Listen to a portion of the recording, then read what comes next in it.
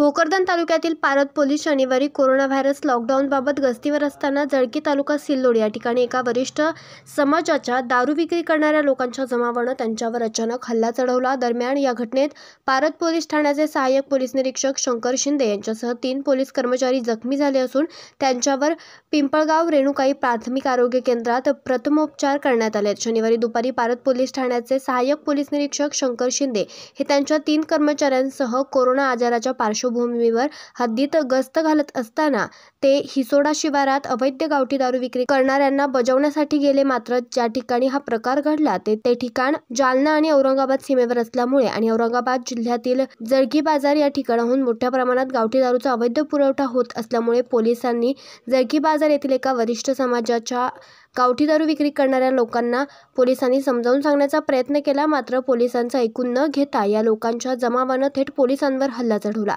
पोलिसांना जखमीही केलं. यामध्ये एक अधिकारी कर्मचारी तसेच ग्रामसंरक्षण दलाचे तरुण जखमी झाल्यात. पिंपळगाव आणवा रस्त्यावर ग्रामसंरक्षण दलातील तरुण गस्त घालत असताना काही बाहेर गावावरील नागरिक हे कॅरीबॅगमध्ये गावठी दारू वाहतूक करत असल्याचं दिसून आलं.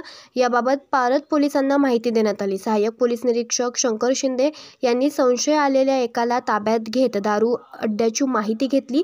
त्यानुसार हद्दीतील हिसोडा शिवार गाठलं. या ठिकाणी पस्तीस तसेच वीस अशी एकूण पंचावन्न लिटरची गावठी दारू हस्तगत करण्यात आलेली आहे. जळकी बाजार गावात गावठी दारू विक्री करणाऱ्या लोकांचा जमाव. या ठिकाणी काठ्या लोखंडी रॉडसह घटनास्थळी दाखल झाले.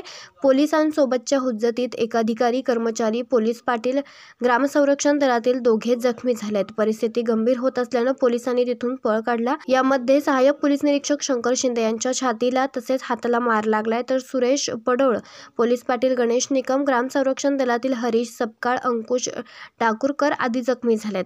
घटना घडल्यानंतर तत्काळ जखमी झालेल्या पोलिसांना पिंपळगाव रेणुकाई प्राथमिक आरोग्य केंद्रात प्रथमोपचारासाठी दाखल करण्यात आलं.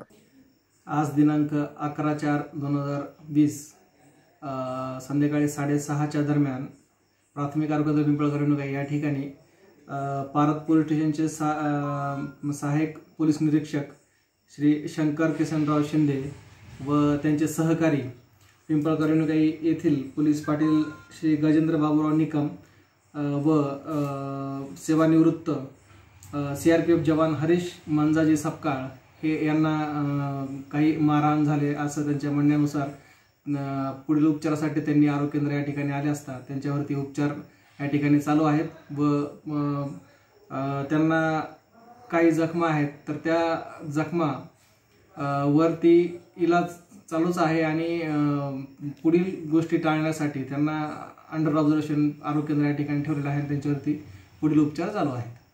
न्यूज रिपोर्टर हरी बोराडे आज चोवीस तास धावडा जालना.